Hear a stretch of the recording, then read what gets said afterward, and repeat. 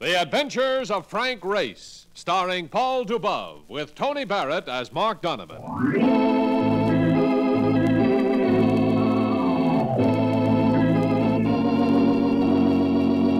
The war changed many things the face of the earth and the people on it. Before the war, Frank Race worked as an attorney, but he traded his law books for the cloak and dagger of the OSS. And when it was over, his former life was over too.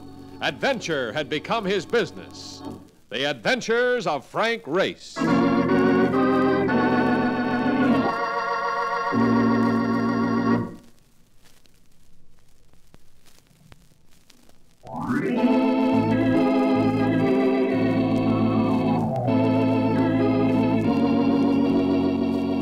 now we join Frank Race for the adventure of the lovable characters. There's something about San Francisco that makes you feel alive. Perhaps it's the climate, but whatever it is, it calls for physical activity. Mark and I had been through a rough day, and yet night found us engaged in a healthful exercise at a bowling alley near our hotel. How's that for nicking a split spare, huh? Very neat, Marcus. That's the frame, and you win again. yes, indeed. Uh, want to pull another string? Uh, uh, Make it for a uh, finish time. Give you a chance to get even, huh? Let's have a cup of coffee at the counter first. Okay, okay.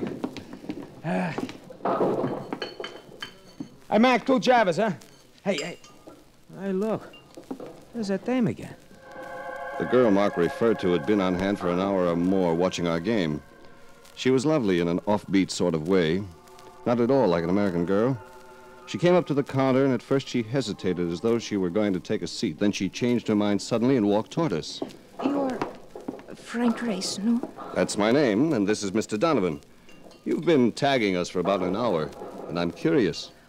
I have been deliberating whether or not to trust you with a matter of great importance. It's not an easy decision to make when one is in a strange country. For somebody who is in a strange country, you found us all right in a rather strange place. Yeah, yeah. Uh, whatever you're equipped for, sister, ain't bowling. I know of you by reputation, Mr. Race. The clerk at the hotel said that I might find you here. I, I need your help.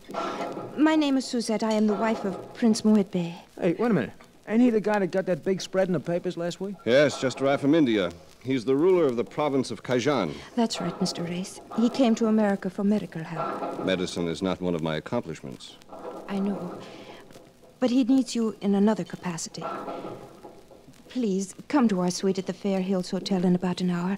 You must be near my husband because, well, I am certain that somebody intends to kill him.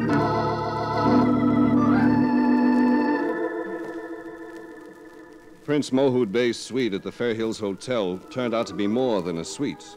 The prince and his retinue, including all 12 of his wives, occupied the entire fourth floor of the hostelry.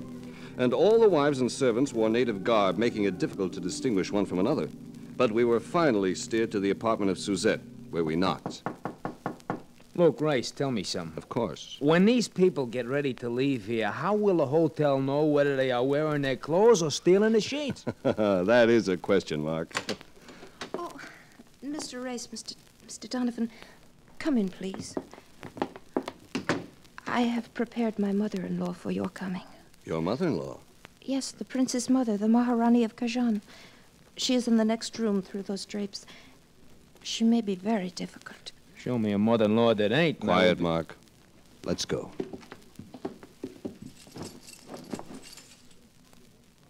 Gentlemen, the Maharani of Kajan. The Maharani of Kajan was quite a surprise. She was dressed in tweeds. Her hair was close cropped, and it took only one look at her florid face to tell me she was not a native of India. She was as British as a cup of tea. My daughter in law's overstepped her authority in calling you here, gentlemen.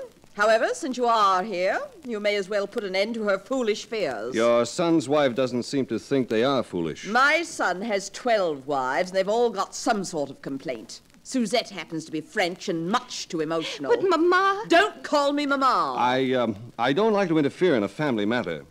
But perhaps you can tell me why you think Suzette's fears are not grounded. Because she's as neurotic as my son. If he had one English girl in the crop he's married, he'd have more backbone. Providence knows I've tried to buck him up. Brother, want a battle axe? Why does your son, the prince, require medical attention? Not medical, Mr. Ray, psychiatric. We came to America to consult a psychiatrist. There's nothing wrong with him physically. But there is. He's been having pain. Nonsense. It's all in his mind. You can find that out for yourself, Mr. Race. Dr. Kerner's his psychiatrist. Ask him. It's in the Grayson building. You can see him tomorrow. Thank you, I will. Very well, then you're dismissed. But, Mama. You're dismissed. We left the Maharani and stepped into the corridor and did a little broken field running through the other 11 wives who were wandering around like a football team between halves. And then Suzette led us into a small room.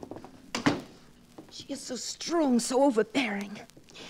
Please, you must help me. I should like to see your husband. This is the anteroom to his quarters. I, I would rather not go in with you. Suit yourself.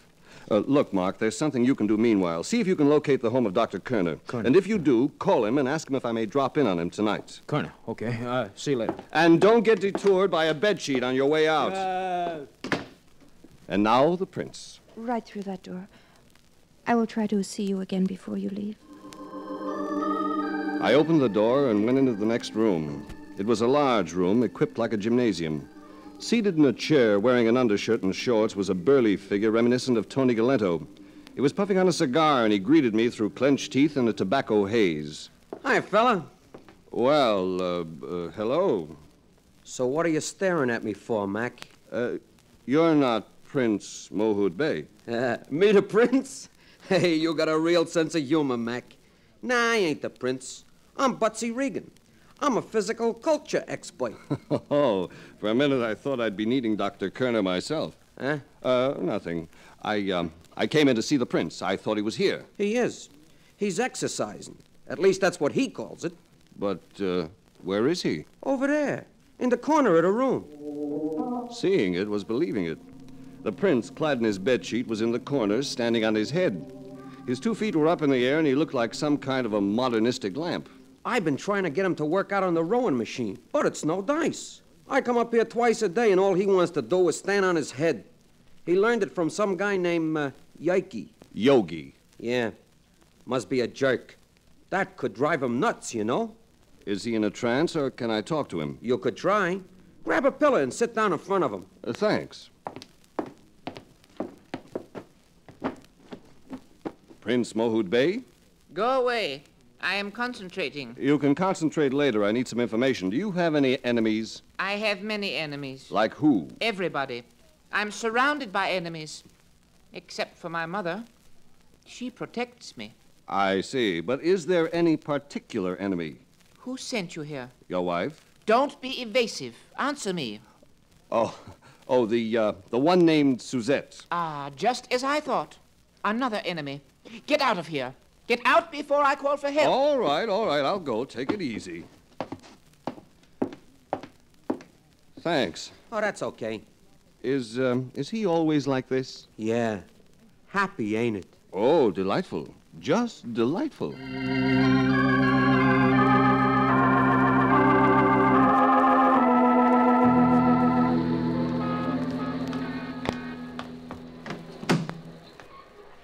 Find out where Dr. Kerner lives, Mark? Sure did.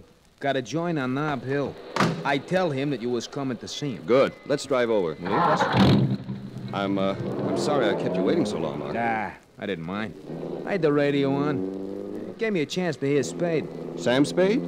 Sam Spade. Spade Cooley, the king of the Western swing. What do you think I am, a traitor?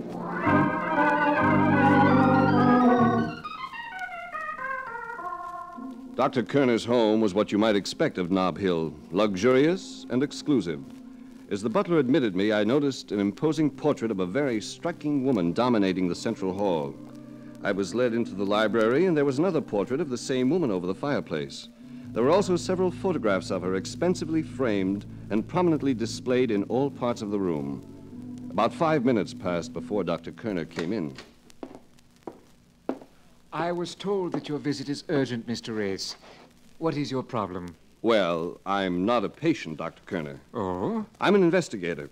I want some information about Prince Mohud Bey.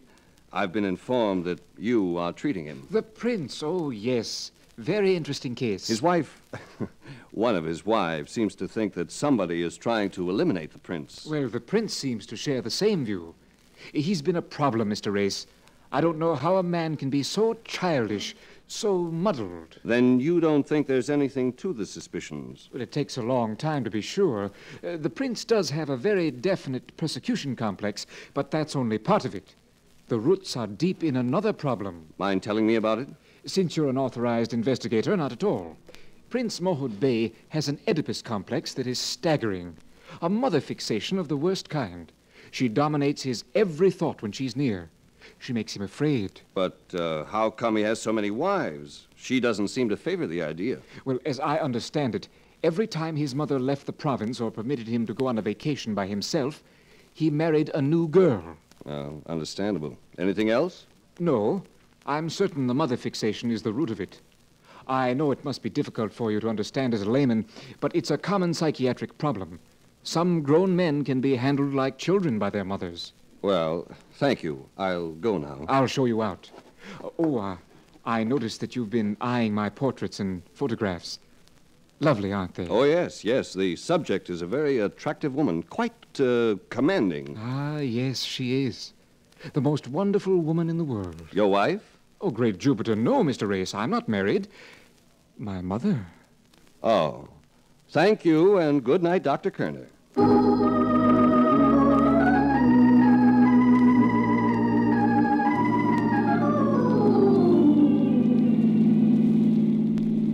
Know. If you ask me, Race, it all sounds pretty screwy. Maybe yes, Mark, maybe no. But Suzette strikes me as being a sensible girl, even though she is snowed under by the Maharani. You mean you're gonna keep working on this? Just for kicks. Even if there's nothing to it, we've been meeting a crop of lovable characters. Yeah, I'll buy part of that. We have been meeting characters. Now listen to that. Guy blowing his horn to pass, and he's a half a block behind me. I don't think he wants to pass. He wants us to wait until he catches up to us. Pull over. You're the boss.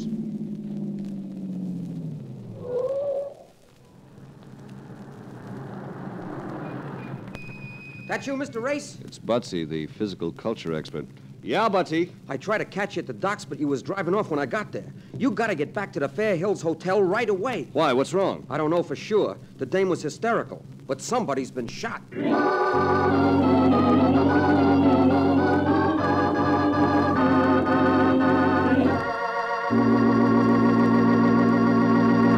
Return to the adventures of Frank Race in just about one minute.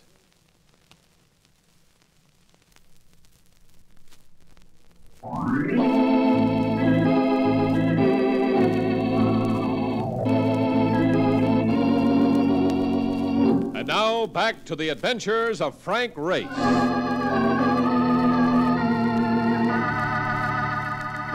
Police cars surrounded the block near the Fair Hills Hotel by the time we arrived. I flashed my credentials and was admitted to Prince Mohud Bey's fourth floor domain. I passed the prince's apartment and immediately discovered that he was not the victim. He was in the corner, standing on his head, ignoring the pleas of a police sergeant who wanted him right side up for questioning. I found Suzette's room under police guard. The body of a woman was stretched out near the window. An ambulance attendant was fixing her shoulder. Suzette was in the quarters of the Maharani. This is no time for hysterics, Suzette. She's had quite a shock, I imagine. You might try being kind. Young man, I am the Maharani of Kajan, and no commoner You happen to to be tell in the United States, dear lady. We're all commoners here, and we obey nobody but the traffic cop on the corner, so you can stop that line of chatter. Now, come on, honey. Sit up. Oh, Race, it was horrible. I saw it. Grab hold, honey. Grab hold. Now, tell me what happened. I, I was getting ready to retire, and the shot came through the window. And then she fell. There's one thing I don't know. Who was the victim? My servant, one of the maids. An entirely unimportant person. I told you to get off that line. Shootings are very important here, whether the victim is a maid or a queen. Oh, that poor girl. Why would anybody want to shoot her? I don't think anybody did. It was accidental.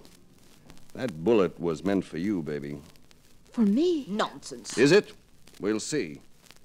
Now, you said the bullet came through the window. Oh, Yes, but I, I didn't even hear it. We didn't know it was a bullet until later. Is there a balcony outside the window? No, nothing. You better call the ambulance doctor when he's finished and have him give you a sedative. I'm going to find the officer in charge.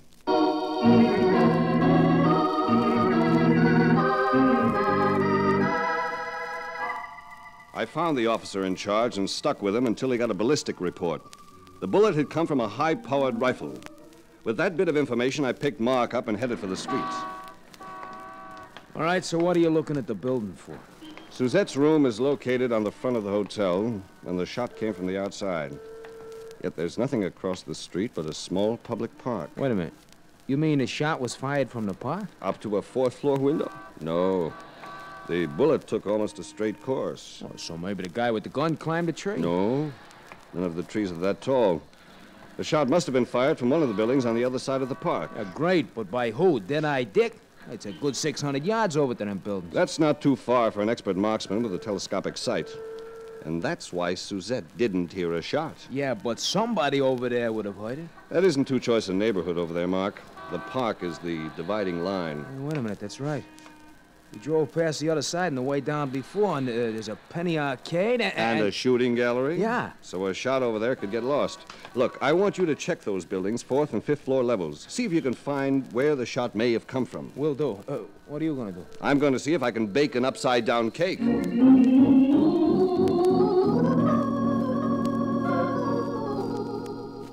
I'm telling you, Mac. The cops couldn't flip him over, so I don't see how you expect to do it. Talk to him the way you did before. All right, but he's turning my whole world topsy turvy. I feel silly talking to a man who's standing on his head. So I gotta be here a couple of hours a day, and I feel silly too. But after all, Mac, a buck's a buck. For what I get on his job, I'll blow a bubble pipe if he wants. You've got logic on your side, Butsy. Well, I guess it's the only way. Nice to see you again, Prince. Let's be friends. You mind if I shake your foot? Go away. You disturb my meditation. Ever do any big game hunting, Prince? Why do you want to know? Are you gathering information for my enemies? No, I'm planning to visit your country. I thought we might get together and bag a few tigers. I won't go with you. I don't like you. I won't let you use my elephants. My mother won't even let you get into the province. You mean you're going to keep all those nice tigers for yourself? Yes. All right. Then I won't let you play with my Parcheesi set. See you later. See? He's as cracked as a glass pitcher after a brewer's convention. He's not as cracked as he seems to be, Butsy. What do you mean? Come into the anteroom for a minute. Well, sure. How come Suzette called you to go after me when I was out at the doctor's? She didn't have to call me. I was right here. I guess she picked me 'cause I know the town. Somebody could have telephoned. The doc's number ain't listed. Where was uh, Nature Boy when the shooting took place? In there, standing on his noggin. Where else? You're sure of that? Sure, I'm sure. I was with him. All I ever seemed to do was sit there and count his toes. Just the same, keep your eye on him. He may be all right when he's standing on his head, but things may start to happen if he gets on his feet.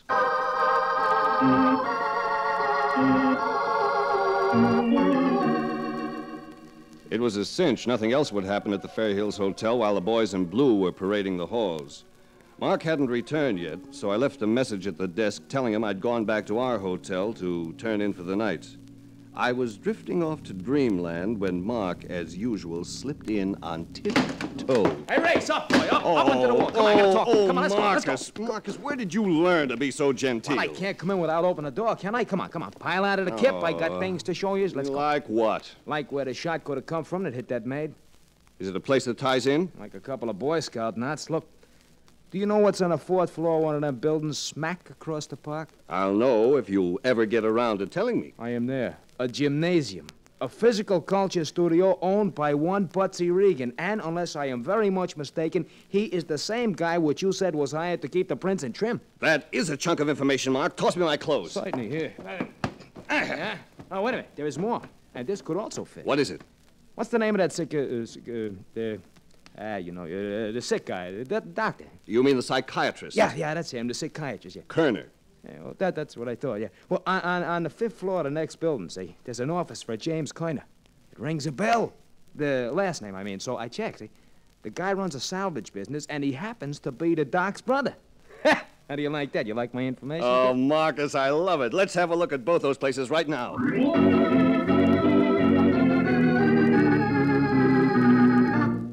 Office of James Kerner turned out to be innocent enough from all appearances. It was a legitimate business. We locked the place carefully and moved to the next building and gained access to the fourth floor gymnasium operated by Butsy Regan.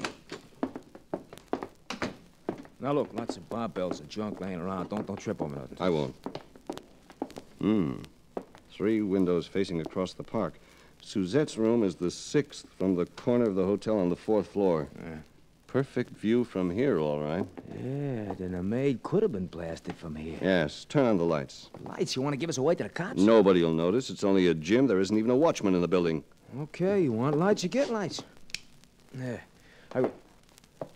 What are you looking for? This, for one thing, on the windowsill here. Oh, it's just a mark in the dust, that's all I see. Yes, the same kind of a mark a gun barrel would make if it were rested there to steady the aim. Hey, that's right, hey. And there may be an empty cartridge on the floor somewhere. Kill it! Hey, down, down! What was that, anyhow? Bullet came through the window, but no gunshot. That means it came from the hotel across the park. Crawl over and douse the lights, then we can get out of here. Wait a minute. You mean whoever picked off the maid from over here is now trying to blast us from over there? That's right, Mark. Because we're too close to winding this up. We're going back to the Fair Hills Hotel for our final visit.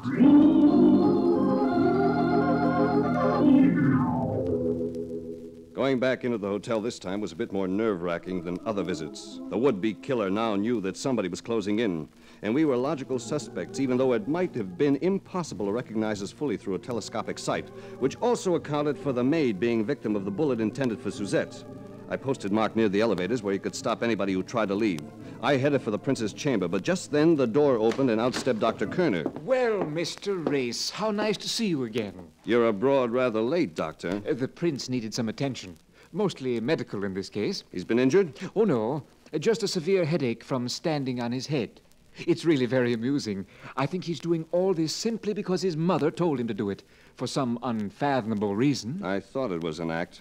Is he sleeping now? Oh, yes, very soundly. He won't come round until morning. Uh, a man at the elevator may try to prevent your leaving, Doctor. Just tell him I said it was all right. Oh, thank you, Mr. Race. And I'm especially glad I saw you because I have a gift I'd like you to accept. Oh? It's this picture of my mother, since you admire the other so much. Well, thank you, Doctor. Just what I've always wanted. I stuffed Mother Kerner's picture into my pocket next to my heart and headed for Suzette's apartment. I opened the door, and the room was empty. But I caught the sound of voices from behind the drapes that separated the Maharani's quarters from Suzette's. I moved over and listened. But why can't I tell him why? Because I have ordered you to say nothing. I know how to handle these things, and I shall tell him when the time is right. He's my husband. He has a right to know immediately. I've listened to you long enough. Well, girls, we seem to be having a disagreement. How dare you intrude? You when- keep quiet. Now, Suzette, what is it she doesn't want you to tell your husband? I'm going to have a baby. A new little prince. Which the Maharani couldn't keep quiet forever unless you happen to be dead. What are you insinuating? I'm Impossible. insinuating that you were trying to kill this girl so that she and her child wouldn't be able to take top spot in your son's affections. You don't like the back seat, old girl. But you shot a maid by accident, and that's still the stuff that jails are made of. I'll have you thrown out at the no, you suffer- won't. You hired Butsy Regan to keep him here evenings and give you the run of his gym. And a sportswoman like you can handle a rifle very well, I'm sure. Mama. Mama, it was you. Don't call me Mama. Come on, Suzette. I'll take you to another room until the police come here to pick up Mama. Police pick me up for shooting a servant. Ridiculous. And Kaijan, Mama, perhaps, but not here, Mama. Not here.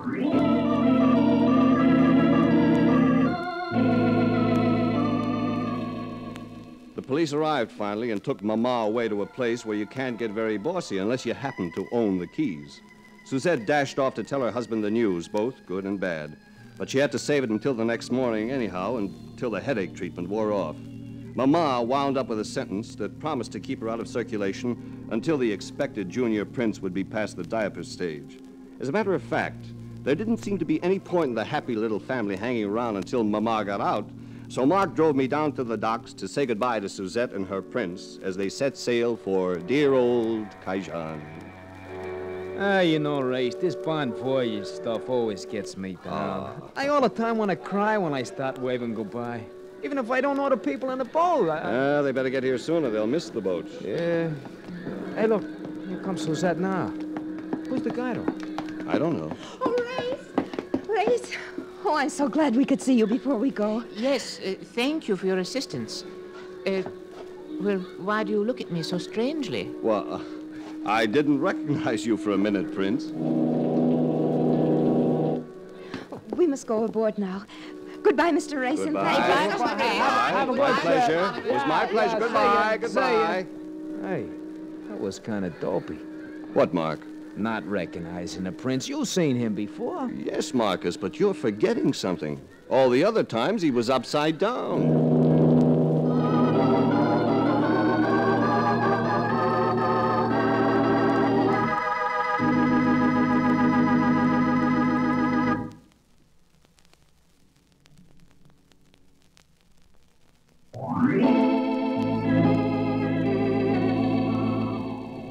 Adventures of Frank Race, starring Paul Dubov with Tony Barrett as Mark Donovan, comes to you from Hollywood. Others heard in tonight's cast were Monty Margetts, Michael Ann Barrett, Stanley Prager, and Byron Kane. This series is written and directed by Joel Murcott and Buckley Angel. The music is composed and played by Ivan Ditmars. Be sure to be with us again this time next week for another dramatic chapter in the adventures of Frank Race. Art Gilmore speaking. This is a BPS production.